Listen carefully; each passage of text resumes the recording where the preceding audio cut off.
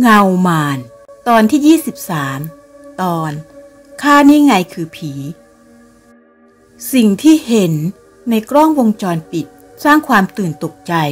ให้แก่ผู้คนจนถึงขั้นกลายเป็นหวาดผวา ความระทึกใจไม่หยุดเพียงเท่านั้น เมื่อเห็นสองสาว เข้ามานั่งคุยกับใครบางคนครู่หนึ่ง พากันเดินออกไป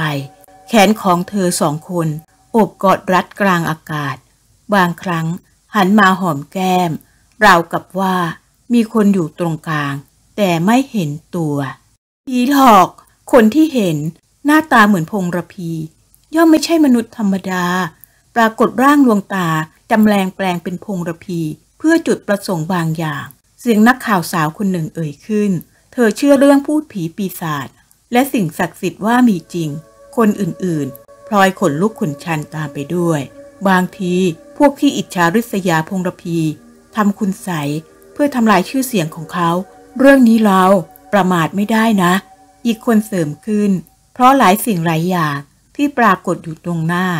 แม้ว่าอยู่ในกล้องวงจรปิด แต่ยืนยันได้ว่า คือสิ่งที่เกิดขึ้น เหนือปรากฏการธรรมชาติ ยากที่จะอธิบายได้ด้วยเหตุผลทางวิทยาศาสตร์ จากที่คิดว่าพงระพีเป็นฆาตกร บัดนี้เปลี่ยนความคิดโดยปริยาย เมื่อไม่มีภาพ แสดงว่าเขาไร้ความผิด อย่างนี้ก็หมายความว่า พงระพีพ้นข้อกล่าวหาว่าเป็นคนร้ายสิครับ ใช่ เขาไม่ใช่ฆาตกร แต่เป็นผู้บริสุทธิ์ การพิสูจน์ในครั้งนี้ มีการไลฟ์สดให้ผู้คนชมกันทั้งประเทศ พงระพีกับครอบครัว และโจโจ หันมายิ้มให้กัน จากนั้นผู้จัดการผับได้ออกมาขอโทษผ่านสื่อ ผมและพนักงานทุกคน ขอโทษที่ทำให้คุณพงระพีเสื่อมเสียชื่อเสียง จากที่แจ้งความเอาไว้ ก็ต้องขอถอนด้วยเช่นกัน แต่ก็คงเป็นเรื่องที่เหลือเชื่อ พนักงานหลายคนเห็นผู้ชายชุดดำที่เหมือนคุณพงระพี แต่ไม่มีภาพ เราก็ไม่สามารถที่จะตอบได้ว่าเกิดอะไรขึ้น ผู้จัดการผับมีสีหน้าหวาดวิตก เกรงว่า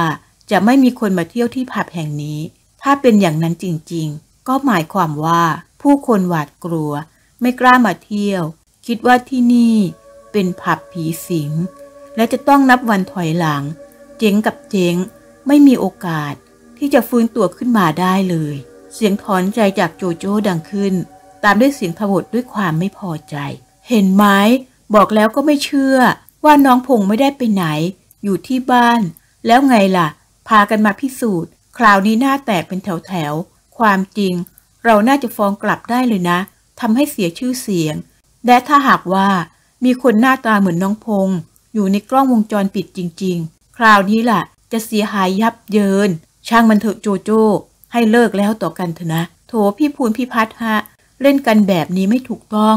โจโจ้ไม่ชอบเลย แต่มันก็แปลกนะฮะ เราเห็นแม่เด็กเสิร์ฟกับผู้หญิงสองคนนั้น เข้าไปพูดคุยกับใครบางคน แต่ไม่มีตัวตน หรือว่าผู้ชายคนนั้นเป็นผี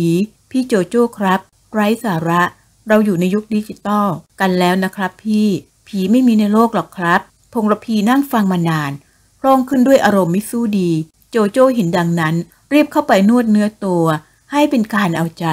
และเอ่ยขึ้นด้วยเสียงอ่อนเสียงหวาน เพราะกลัวว่าชายหนุ่มจะโกรธ และไม่ยอมรับงานเพิ่มทำให้ขาดรายได้เป็นจำนวนมาก โธ่น้องพง เรื่องแบบนี้ ไม่เชื่ออย่าลบหลู่นะ ผมไม่ได้ลบหลู่ แต่คิดว่าผีไม่มีในโลก ถ้าแน่จริงก็ออกมาให้เห็นเดี๋ยวนี้สิ สิ้นคำท้าจากชายหนุ่ม จู่ๆโคมไฟเหนือศีรษะ แตกเสียงลั่น และดังเปรี้ยพร้อมๆ กับไฟดับวูบลง ทุกคนตกใจ อกสั่นขวัญแขวน โจโจ้กระโดดขึ้นมานั่งยองๆ กอดแขนพูนพิพัฒน์เอาไว้แน่น พงระพีหายจากอาการตื่นตะลึง เขาลุกขึ้น เดินคลำไปตามข้างฝา มีความรู้สึกว่าเห็นเงาดำๆยืนอยู่ แต่ไม่แน่ใจว่าเป็นใคร ครั้นเดินออกไปหา เงานั้นก็หายไป แปลก เมื่อครู่เราเห็นเงาดำของใครบางคน แล้วตอนนี้หายไปไหนแล้วนะ ชายหนุ่มสงสัย แต่ไม่กล้าพูดออกมา เกรงว่าทุกคนจะกลัว เสียงบรรดา เรียกเขาด้วยเสียงค่อนข้างสั่น พง พง ลูกอยู่ไหนจ๊ะ แม่ครับ ผมอยู่ตรงประตูครับ พง รีบๆมานะลูก แล้วนี่ใครเกาะแขนพ่อเสียแน่นเลย โจโจ้เองฮะ กลัวมากเลย โจโจ้ขานรับและขยับตัวนั่งตามปกติ ท่ามกลางความมืดมิดของห้อง มีความรู้สึกว่า มีใครบางคน ยืนอยู่ข้างหลัง เสียงหายใจ ดังออกมาแรงๆ ความกลัวเกิดขึ้นอีกครั้ง จึงไม่รอช้าที่จะซบหน้าลงกับมือ ขณะเดียวกันรุดีนาฏหันไปมองทางด้านหลัง สะดุ้งต่อเงาดำยืนนิ่งข้างลูกชาย แม้ว่าเห็นไม่ชัด แต่ก็รู้ว่า เป็นคนมีขนาดความสูง เท่ากับพงระพี และก็ยืนอยู่ตรงนั้น พงระพีคนไหนล่ะ แล้วใครยืนอยู่ด้วย มีอะไรหรือครับคุณ ฉันเห็นคนยืนอยู่ใกล้ๆกับพงระพีค่ะ แต่รูปร่างเหมือนกัน หรือว่าจะเป็นคนร้าย พง พง ระวังตัวนะลูก มีคนยืนอยู่ข้างๆรุดีนาฏ ส่งเสียงร้องเตือนบุตรชายให้ระวัง ชายหนุ่มได้ยินดังนั้น หันไปมอง แต่ไม่เจอใคร ได้แต่โครงศีรษะไปมา ไม่มีหรอกครับแม่ แต่แม่เห็นเงาดำๆ คนตัวเท่าพงเลยนะ คุณตาฝาดไปหรือเปล่า สามีกระซิบเบาๆ พยายามบอกกับตัวเองว่า ไม่มีอะไรเกิดขึ้น ทั้งที่ในใจก็คิดว่า จะต้องมีสิ่งผิดปกติ เขากลัวตั้งแต่ไม่เห็นภาพชายที่เหมือนพงระพีในจอทีวี ครั้นพูดเรื่องผี ลูกชายก็ท้าด้วยความขนองปาก จู่ๆโคมไฟ ก็แตกและดับไป เขาอดคิดไม่ได้ว่า อาจจะเป็นผีร้ายที่จ้องจะเล่นงานพงระพีก็ได้ มันเป็นใครทำไมต้องมุ่งร้าย แค่ลูกชายเขาเพียงผู้เดียว และเขาจะช่วยพงระพีให้รอดพ้น จากเงามฤตยูนั้น ได้อย่างไร ฉันไม่ได้ตาฝาดนะคะ เห็นจริง ๆ พี่ฤดีอย่าพูดอย่างนี้นะ จโจ้กลัวจะแย่อยู่แล้ว สิ้นคำโจโจ้แสงจากไฟฉายสว่างวาบทุกคนสะดุ้ง อุทานออกมาพร้อมกัน พงระพี เผยตวัดส่วนหน้าของไฟฉาย จากโทรศัพท์ขึ้นข้างบน และส่องใต้คางของตัวเอง เสียงหวีดร้อง จากรุดีนาดดังขึ้น เธอเห็นใบหน้าบุตรชาย เน่าเฟะจนน่ากลัวอ๋อช่วยด้วย ผี ผีหลอก อะไรฮะพี่รุดี ผีที่ไหน อย่าพูดอย่างนี้ ฉี่จะราดอยู่แล้วนะ ชายหัวใจหญิง เกิดอาการกลัว เรือนร่างสั่น และรู้ว่าของเหลวภายในร่างกายกำลังจะเลื่อนหลุดออกมา ภูนพิพัฒน์ที่นั่งอยู่ใกล้ๆหวาดกลัวไม่น้อย รู้ว่าภรรยาตาไม่ฝาด เขาเห็นบุตรชายหน้าเน่า และปูดบวม บางแห่งช้ำเลือดช้ำหนอง หลังจากกระพริบตา ภาพนั้นหายไป เกิดอะไรขึ้นกันแน่ ครั้นพงระพีเดินเข้ามา เขาลดไฟฉายลง แล้วถือเอาไว้ แต่ฤดีนาฏกลัว ไม่ยอมให้ลูกชายเข้าใกล้ เธอขยับไปหาสามี ซบอยู่กับอก เนื้อตัวสั่นเทา และพูดซ้ำซาก แต่คำเดิมๆ ช่วยด้วย ผีหลอก ผีหลอกฉัน ไม่มีผีหรอกครับแม่ ผมเอง พงระพีไงครับ ไม่เชื่อ มีผีแฝงอยู่ในตัวลูก คุณภูนพิพัฒน์คะ ฉันเห็นลูกหน้าเละ และน่ากลัวมาก จะต้องมีบางสิ่งบางอย่าง เกิดขึ้นกับครอบครัวของเราแล้วค่ะ ใจเย็นๆครับ อย่าเพิ่งกลัว ไม่มีอะไรหรอก ผมจะขอส่องดูโคมไฟ แต่ขนาดนี้จะต้องเรียกช่าง เราออกมานั่งอยู่ข้างนอกดีกว่านะครับ ระวังเศษกระจกบาดนะครับ จากนั้นพงระพี จูงมันดา เดินออกมาอย่างช้าๆ ส่วนคนอื่นๆ ตามมาในลักษณะระมัดระวัง โจโจ้เผลอมองไปทางข้างหลัง ท่ามกลางความมืด อย่างชนิดที่เรียกว่าทึบ แต่ก็ยังพอเห็น เงาคนรางๆ แต่แล้วชายหัวใจหญิงก็สะดุ้งสุดตัว ฮะ พระเจ้าจอร์ดช่วยด้วย อะไรครับพี่โจโจ้ร้องเสียงดัง จนผมตกอกตกใจหมดเลย พง เมื่อครู่มีผู้ชาย รูปร่างสูงใหญ่พอๆกับพงกำลังยืนมองพวกเราอยู่นะ พี่เห็นตาเขาแดงกำ่ำเขาไม่ใช่คนแน่ ๆเลยฤดีนาฏได้ยินดังนั้น รู้ทันทีว่าจะต้องมีปีศาจร้ายที่จ้องเล่นงานลูกชาย มันจะต้องสร้างความปั่นป่วน ให้แก่ทุกคน เธอยอมไม่ได้เด็ดขาด ที่จะปล่อยเอาไว้อย่างนี้ คงจะต้องทำอะไรสักอย่าง ตอนนั้น ความนึกคิดนึกไปถึง พ่อมดหมอผีแทรกเข้ามาทันที คงจะต้องเสาะหามาปราบกลัวว่าเงาดำจะทำร้ายบุตรชาย ให้มีอันเป็นไป ในขณะเดียวกัน ทุกคนที่อยู่ในผับ ต่างหวาดผวา แต่ไม่กล้าพูดอะไร เรากลับบ้านเถอะค่ะฤดีนาฏรู้ว่าการกลับบ้าน เป็นวิธีที่ดีที่สุด สามี จึงพยักหน้ารับ ไปเถอะ เราเสียเวลามากพอแล้ว กลับไปพักผ่อนดีกว่านะพูนพิพัฒน์จึงเดินนำหน้าทุกคน ออกมาจากผับ จากนั้นพากันมายืนอยู่ด้านนอก ที่เปิดไฟสว่าง โจโจ้เกิดอาการตาขาว ไม่กล้ากลับบ้านคนเดียว กลัวว่าจะมีแขกไม่ได้รับเชิญในยามวิกาลขึ้นมานั่งเคียงข้าง อยู่ในรถคันเดียวกัน แต่เขาก็รู้ว่า ถ้าหากขออาศัย นอนที่บ้านผูนพิพัฒน์ก็จะเป็นการรบกวนมากเกินไป เขาจึงเรียกลูกน้องให้มารับกลับในเวลาเที่ยงคืนพอดี เมื่อครอบครัวของพูนพิพัฒน์กลับบ้าน ต่างแยกย้ายกันพักผ่อน พงละพีเดินมายืนอยู่ตรงหน้าต่าง มองออกไปด้านนอก คืนนี้ไร้แสงจันทร์ ความมืดมิดครอบคลุมทุกอนูพื้นที่ เขารู้สึกหวาดหวั่นไม่น้อย แต่ก็บอกกับตัวเองว่า อย่ากกลัว เหตุการณ์ต่างๆ เป็นแค่เพียงความบังเอิญเท่านั้น ผีไม่มีในโลก ไม่จริง ข้านี่ไงคือผี จู่ๆเสียงใครบางคนดังลั่นสนั่นบ้าน พงระพีสะดุ้ง หน้าเผือดสีด้วยความตกใจ มองไปรอบๆตัว และแล้วดวงตาเบิกกว้าง เห็นใครบางคน ยืนอยู่เบื้องล่าง ตรงสนามหญ้า เมื่อเงยหน้าขึ้นมามอง เขาผงะเล็กน้อย ต่อรูปร่างหน้าตา เหมือนเข้าราวกับเป็นคนเดียวกัน ดวงตาแดงจัดจ้าที่ส่งมานั้น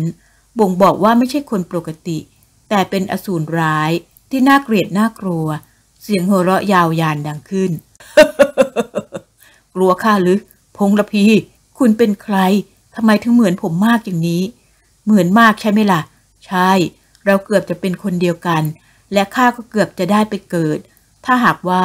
พ่อกับแม่ไม่ลำเอียง ให้แกมีชีวิตรอด แต่ไม่ช่วยข้าปล่อยให้เสียชีวิตอย่างอนาถไม่จริง พ่อกับแม่เป็นคนดี คุณกล่าวหาท่าน แกจะรู้อะไร แกคือฝาแฝดน้องของข้า เราเกิดมา มีหน้าอกติดกัน และถูกผ่าตัด แยกร่างออกจากกัน ผู้ที่ไม่น่าอภิรมก็ต้องดับศูนย์ ไม่น่าเชื่อเลยว่า คนนั้นมันจะเป็นข้าซึ่งตกอยู่ในโลกแห่งความตาย อยู่อย่างโดดเดี่ยว กลายเป็นอสุรกาย น่าเกลียดน่ากลัว ปีศาจวิรวัตกล่าวด้วยความแค้นดวงตาที่จ้องมานั้นฉายความแดงจัดยิ่งกว่าเดิม พงระพีเกิดอาการตื่นตื่นเมื่อรู้ว่าตัวเองมีคู่แฝดที่เกิดมามีลักษณะพิเศษกว่าผู้อื่น คือหน้าอกติดกันแต่ว่าอีกใจหนึ่ง ก็คานว่าเป็นไปไม่ได้ ไม่จริง ผมไม่เชื่อ เจ้าโง่ ทุกวันที่อาบน้ำแกไม่สังเกตรอยแผลเป็นที่หน้าอกหรือไง ว่ามันเป็นร่องรอยของการผ่าตัด ถ้าไม่เชื่อ ก็ถามพ่อแม่ดูว่า วีรวัตรคือใคร วีรวัตรคุณชื่อวีรวัตรหรือ ชายหนุ่มถาม ด้วยเสียงสั่นๆ คล้ายกับละเมอฉับพลัน ปีศาจร้ายหัวเราะ พร้อมกับพุ่งร่างเข้ามาใกล้ๆ ยืนประจันหน้ากัน มันยืดมือเข้ามา พงระพีถอยกรูดด้วยความกลัว กระทั่งล้มลงไปนอนกับเตียง และยกสองมือขึ้นปัดป้อง ไม่ยอมให้ปีศาจทำร้าย อย่า อย่านะ ผมกลัวแล้ว กลัวหรือ คนอย่างแกไม่สมควรที่จะอยู่อีกต่อไปสวยสุขพอแล้ว เอาชีวิตและวิญญาณ มอบให้แกข้าเถอะนะ ไม่ อย่า พ่อครับ แม่ครับ ช่วยผมด้วยครับ ชายหนุ่มตะเบงเสียงดัง ๆ ร้องขอความช่วยเหลือทว่าใจหายวาบ เมื่อรู้ว่าเสียงไม่อาจเล็ดลอดออกมา มันดังอวนอยู่แต่ภายในลำคอเท่านั้น ร้องให้คอแตกตาย ก็ไม่มีใครช่วยเจ้าได้หรอก เจ้าน้องชั่ว เสียชีวิตเถอะนะ แรงที่เค้นลงมานั้น หนักแน่นเตะจนพงระพี ไม่สามารถที่จะดึงมือ เจ้าปีศาจร้ายให้ออกไปได้ ชายหนุ่มพยายามดิ้นจนสุดกำลัง แต่มีความรู้สึกว่ากำลังลดน้อยลงไปทุกที ลมหายใจแผ่ว ดวงตาพร่าเลือน เสียงหัวเราะแหลมๆ สอดแทรกเข้ามาในความรู้สึก กรุณาได้โปรด อย่าทำอะไรผม สัพเพสัตตาอเวราโหตุ ขอสัตว์ทั้งหลายทั้งปวง จงอย่ามีเวรแก่กันและกันเลยนะ ตัพเพสัตตา อัพยาปชา โหตุ ขอสัตว์ทั้งหลายทั้งปวง จงอย่าเบียดเบียน ซึ่งกันและกันเลย สัพเพสัตตา อนิคาโหนตุ ขอสัตว์ทั้งหลายทั้งปวง จงอย่ามีทุกข์กาย ทุกข์ใจต่อกันเลย โอ้ยอย่าสวด พอแล้ว สมองจะแตก อย่า หยุดเดี๋ยวนี้นะ เสียงปีศาจร้ายวิรวัตรร้องห้าม ร่างที่เหมือนพงระพีหงายหลัง ล้มลงไปนอนเกลือกกลิ้ง อยู่กับที่พื้น มันกระเสือกกระสนไปมา ด้วยความกลัวต่อบทตรตรวจแผ่เมตตา เพียงครู่เดียวด่วนร่างสง่างาม กลับสู่สภาพที่แท้จริง คือเป็นปีศาจน่าเกลียดน่ากลัว ศีรษะเกลี้ยงกลมโตไร้เส้นผม ใบหน้าบิดเบี้ยวรวนร่างเปรียเปล่า มีสายสะดือยาวระพื้น และส่งกลิ่นเหม็นเน่าคระครุง้ง โอ้ ผี ช่วยด้วยชายหนุ่มหวิดร้องออกมาสุดเสียง เนื้อตัวเต็มไปด้วยเหงื่อเม็ดเป้ง ผุดขึ้นมาจนเปียกชื้น ความหวาดกลัวต่อภาพปีศาจร้าย ที่เห็นเมื่อครู่สูญสลายไปในพริบตา เขาพบว่านอนอยู่บนเตียง ไม่ได้ยืนอยู่ที่หน้าต่าง เราฝันไปหรือนี่ทำไมถึงเหมือนจริงนัก ผู้ชายรูปร่างหน้าตาเหมือนเราทุกอย่าง แต่ตาดุ มีสีแดง พุ่งเข้ามาบีบคอ บอกว่าเป็นแฝดผู้พี่ เป็นจริงหรือเปล่า เขาชื่อวีรวัตรบัดนี้ ความรู้สึกสับสน ปนเปไปหมด เขาไม่สามารถที่จะจับต้นชนปลายได้ กลายเป็นความกลัว จากที่คิดว่า ผีไม่มีจริงในโลก เริ่มเชื่อบ้างแล้ว หลังจากนั่งชันเขาอยู่พักหนึ่ง จึงรวบรวมสติให้เป็นหนึ่งเดียว กระโจนไปที่หน้าต่าง และมองลงไปตรงจุดที่เห็นปีศาจวิรวัตรไม่มีอะไร หรือว่าเราฝันไปนะ พงระพีพึมพำด้วยเสียงที่เบาวิว แล้วเดินกลับมาที่เตียงอีกครั้ง ถ้าหากว่าหันกลับมาทางด้านหลัง จะเห็นว่าปีศาจแฝดผู้พี่ ลอยตัวอยู่ตรงหน้าต่าง ใบหน้าบิดเบี้ยวเยเก ดวงตาแดงวาบด้วยความโกรธ เฮ้ดวงแกยังดีที่รอด แต่ไม่โชคดีอย่างนี้ตลอดไปหรอกนะ เจ้าพงระพี อีกไม่นาน แกจะต้องจบชีวิต อันสวยหรูลงไปในไม่ช้า เสียงที่คำรามออกมานั้น เต็มไปด้วยแรงแห่งความอาฆาต หลังจากรีรออยู่ครู่หนึ่ง มันก็พุ่งร่างจากไปจากที่ตรงนั้นล่องลอยไปกลางวีหา แล้วพุ่งตรงไปยังบ้านของนับเดือน ซึ่งอยู่ไกลออกไป ราวห้ากิโลเมตร พงระพีนั่งอยู่ตรงหน้าบิดามารดา ที่มองด้วยความงุนงง จู่ๆเขาก็เคาะประตูเรียก ซึ่งก็ทำให้ท่านลุกขึ้นมา จากนั้นก็เข้ามานั่งในห้องในสภาพแปลกๆ คือใบหน้าซีดเผือด มีอาการหวาดกลัว ปรากฏให้เห็น แม้ว่าพงระพีพยายามปกปิดเอาไว้ ก็ตามที มีอะไรหรือลูก พ่อครับ ผมฝันแต่เหมือนจริงมาก ทีแรกคิดว่าเป็นแค่เพียงฝันร้ายธรรมดา ถ้าไม่เห็นรอยแดงๆ ที่ตรงนี้ครับ ชายหนุ่มชี้ให้ดู รอยผื่นแดง บริเวณลำคอ ปรากฏอย่างเด่นชัดพูนพิพัฒน์กับภรรยา ตกใจไม่น้อย ปราดเข้าไปจับดู ด้วยความสงสัย เกิดอะไรขึ้นหรือลูก มารดาถามด้วยเสียงสั่นรัว และคิดว่าจะต้องมีเหตุร้ายเกิดขึ้นกับลูกชายอย่างแน่นอน ครับ ผมจะเล่าให้ฟัง คือว่า ผมเดินไปที่หน้าต่าง เห็นผู้ชายคนหนึ่ง รูปร่างหน้าตา เหมือนกับผมราวกับเป็นคนเดียวกันครับ ชายหนุ่ม พูดด้วยน้ำเสียงตื่นเต้น แต่ผู้ที่ตื่นเต้นกว่า คือพ่อกับแม่